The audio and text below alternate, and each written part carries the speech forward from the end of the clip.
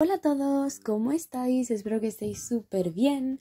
Hoy os traigo un vídeo súper importante para Google Documentos, para utilizar este programa o aplicación, y es cómo hacer un índice, pero no un índice del clásico que supongo que habremos hecho todos, que es en la primera página copiar el título y bajar hasta la página en la que está ese título, ver en qué página está, volver a subir y darle al espacio hasta que lleguemos al final de la hoja y entonces poner el número de la página en el que está. No. ¿Cómo hacer que el índice se haga automáticamente con darle a tres botones súper rápido, súper cómodo y súper fácil? Para ello, vamos a entrar en nuestro documento de Google Documentos en el que tengamos que insertar un índice. Yo aquí, por ejemplo, tengo un texto de ejemplo. Lo importante para hacer un índice automático, es decir, que se haga del tirón, es que tengamos los títulos bien diferenciados. Por ejemplo, aquí la introducción, que es el punto número uno, está igual que el resto del texto. No se ve muy distinto. Para ello lo vamos a seleccionar. Aquí arribita en estilos vamos a marcar encabezado 1. Y veis, se ha cambiado el formato. Ahora vamos a ir bajando hasta encontrar nuestro siguiente punto aquí. Lo vamos a marcar y vamos a seleccionar otra vez encabezado 1. Y así con todos nuestros títulos. Por ejemplo, aquí tengo el 2.1. El 2.1, en lugar de ser encabezado 1, va a ser encabezado 2. El 3 lo cambiamos para poner encabezado 1. Y así con todo el documento. Lo suyo es que conforme vayáis haciendo vuestro trabajo, vayáis poniendo el título y vayáis marcándolo como encabezado 1 o el subtítulo como encabezado 2 o el subsubtítulo como sería este caso con encabezado 3 y así con todos los encabezados que queramos. Por ejemplo, aquí hay hasta 5, pero es que cuando, cuando marquemos algo con el encabezado 5 nos va a dar la opción para hacer encabezado 6, 7 y todos los que queramos. Como veis, esto es muy útil también porque a la izquierda se va marcando en este esquema de aquí el esquema de nuestro documento, de manera que si le damos podemos ir a ese punto.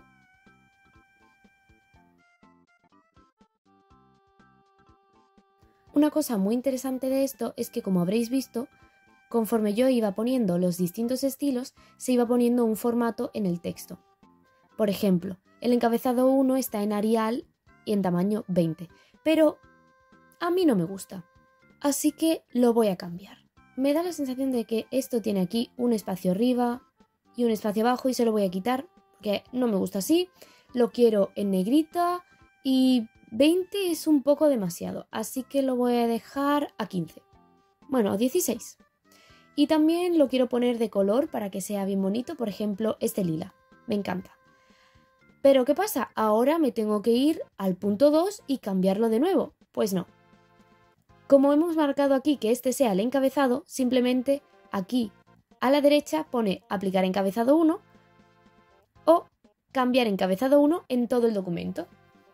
Aplicar encabezado 1 significa que a esto le vamos a poner el formato que tiene el encabezado 1, que en este caso es Arial 20 con un espacio arriba y un espacio abajo que queda súper feo. Pero cambiar encabezado 1 en todo el documento significa que el formato que tiene este encabezado que acabamos de hacer nosotros en rosita, a todos los encabezados 1 del documento los va a poner de esa manera. Le doy y ahora vamos a comprobar. Vámonos al 2, ha cambiado el formato, Aquí en el punto 3 también ha cambiado el formato, en el 4 también, en el 5 también, y así con todos. Por ejemplo, este. Este es el encabezado 2. También tiene esos huecos arriba y abajo que me parecen horribles.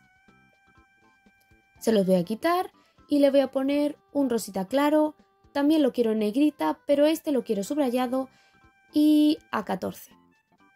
Ahora lo que voy a hacer va a ser cambiar encabezado 2 en todo el documento. Vamos a irnos al siguiente que está marcado con encabezado 2, que es este. Mantiene el mismo formato. Aquí también lo ha cambiado. Y aquí también lo ha cambiado. Solo nos quedan por cambiar los subapartados para que estén igual de bonitos que el resto. Voy a eliminar estos espacios tan horribles. Y ahora, para que sea un poquito distinto, creo que le voy a poner amarillo. en negrita también, pero a 12. Igual que hemos hecho antes, cambiar encabezado 3 en todo el documento. Y ahora aquí vemos como todo se ha puesto amarillito. Nos faltan estos tres de aquí que son encabezado 4, sub, sub, sub, sub, sub, sub, sub apartado. Y también lo vamos a cambiar. Vamos a ponerlo, esta vez no le vamos a poner negrita y verde. Me gusta verde. Y le voy a quitar estos espacios. Listo. Aquí y cambiar encabezado 4 en todo el documento. Ahora cuando vayamos escribiendo nuestro documento, si ponemos otro título, simplemente lo marcamos con el encabezado que toque y listo. Ahora una vez que tenemos esto bien claro, vamos a irnos a lo importante, a por lo que hemos venido aquí, nuestro índice automático. Le he dado control enter para que todo ese texto se vaya a la página de abajo y ahora vamos a darle aquí arriba a insertar y abajo del todo está el índice. Tenemos estas tres opciones que es un texto a la izquierda y los numeritos a la derecha, luego igual pero con puntitos entre los números y el texto y luego el último que es con enlaces.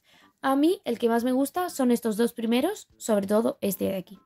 Así que le voy a dar. Y listo, aquí sale nuestro índice. Cuando yo añada, por ejemplo, entre metodología y proceso de transfusión sanguínea, quiero añadir otro punto. Mm, vale, pues vamos a poner que este es el 4.1, mm, lo que sea. Le ponemos el encabezado correspondiente.